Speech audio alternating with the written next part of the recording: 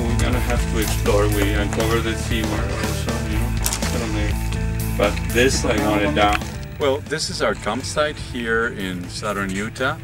We've been here working for about a week and we've done a fair amount of progress. Today I, I felt that we kind of like catched up with the what I wanted, uh, where I wanted to be um, a week after we arrived. Quite a lot of uh, uncovering of bones and uh, removing overburden. We got a new tool with, that works really well, a new jackhammer that really breaks the rock with power and we have uncovered a number of fossils, mostly from sauropods, long necks.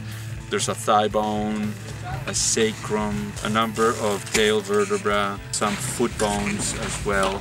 You know, it's just coming together. You have to remember that this is not a single skeleton. This is uh, an accumulation of multiple parts of the skeletons of different animals. Really good progress. But it is an amazing site and a very unique site in many ways. The interesting accumulation it has, and it has some some animals that are not very common. It potentially has some new species, although we have to work more on, on determining that and uncovering more.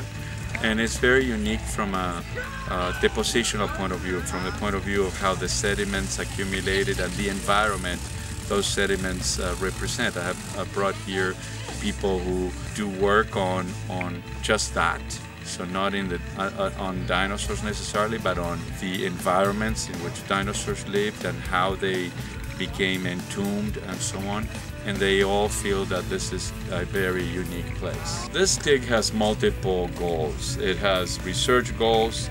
It has mentoring and training of all sorts of people, people who work for the museum in other capacity, students, volunteers, people who in one way or another will interact with the public and hopefully will convey the hands-on experiences that they gain uh, here has the goal of building our collection and I think that building a collection is important not just because the research that we do is based on that collection but also because of the educational programs that uh, we do are in some way based on that, sometimes more directly, sometimes more indirectly, but ultimately looking at the collection, find the ideas, they're manifestations of the collection that we have. The Dinosaur Hall at the Natural History Museum in LA is, is the most rewarding thing I have done in my professional career.